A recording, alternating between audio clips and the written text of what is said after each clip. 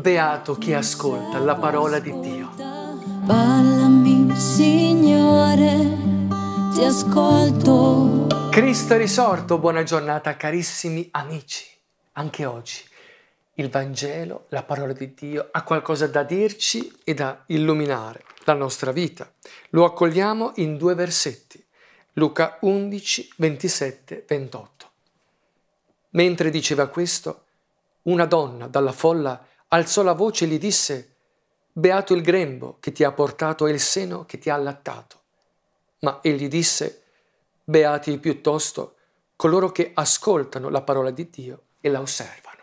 Amen. Cari amici, due versetti. È un po' poco.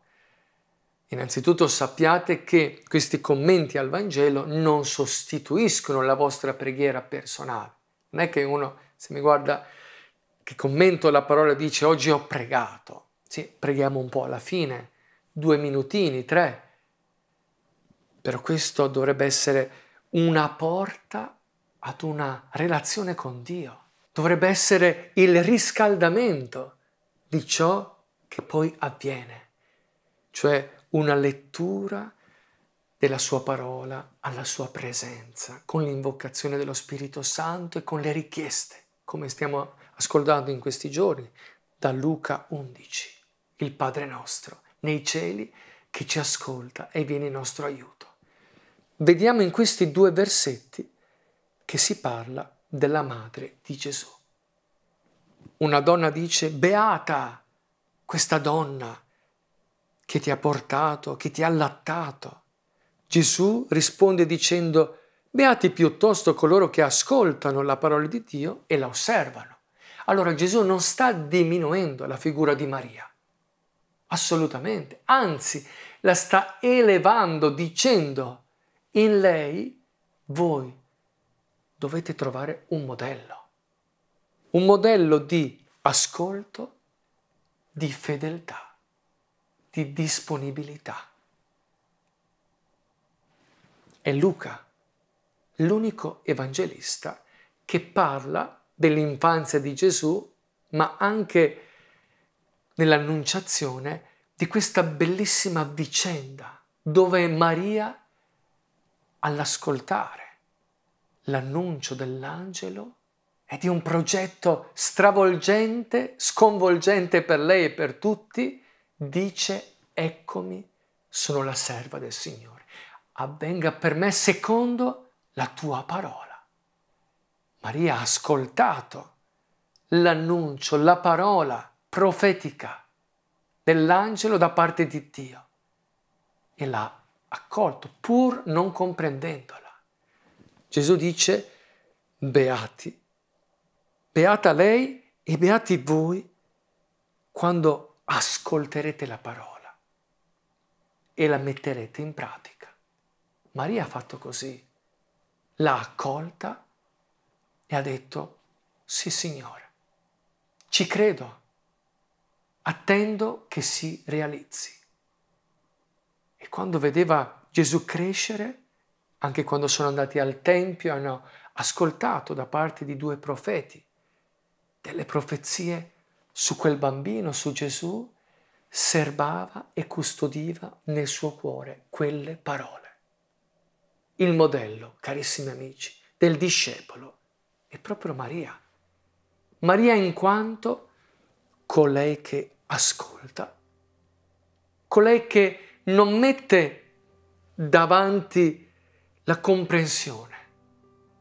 Noi siamo razionali, noi ascoltiamo di solito e diciamo ah non capisco, non ci credo, sarà vero, ma Maria invece mette davanti l'obbedienza. Obbedienza significa credo, anche se non capisco.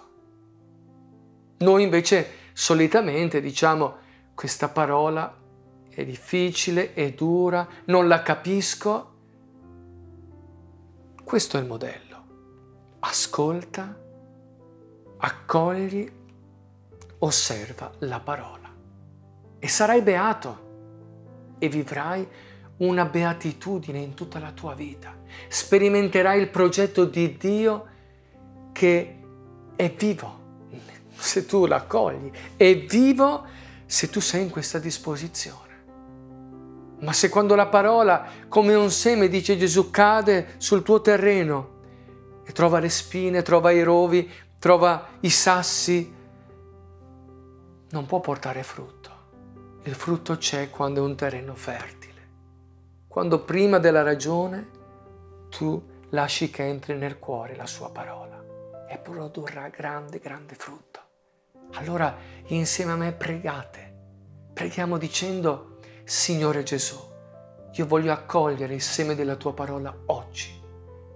E anche tutte quelle volte in cui sono indietreggiato, mi sono arreso dal comprendere quello che tu mi volevi dire.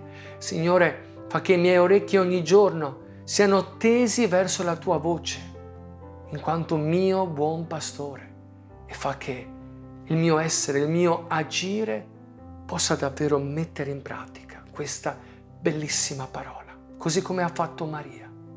E anche io ti dico, eccomi Signore oggi, vengo a te così come sono, voglio essere un tuo servitore, fai di me quello che tu vuoi, accolgo la tua volontà, così come tu ce l'ho insegnato in questi giorni. Il Vangelo di Luca il Padre nostro.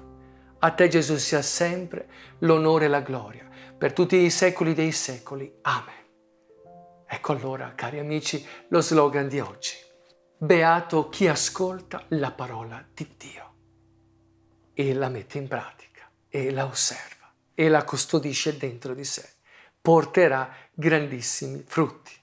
Grazie per avermi accolto e un caro saluto e un abbraccio da parte mia e della Coinonia Giovanni Battista, Oasi di Biella. A domani, ciao! Carissimi, potete già iscrivervi alle nuove serate bibliche dal tema La verità vi farà liberi, come dice Gesù in Giovanni 8:31. Se rimanete nella mia parola, siete davvero miei discepoli, conoscerete la verità e la verità vi farà liberi. 24 e 31 ottobre le iscrizioni sono sul nostro sito web. Vi aspettiamo!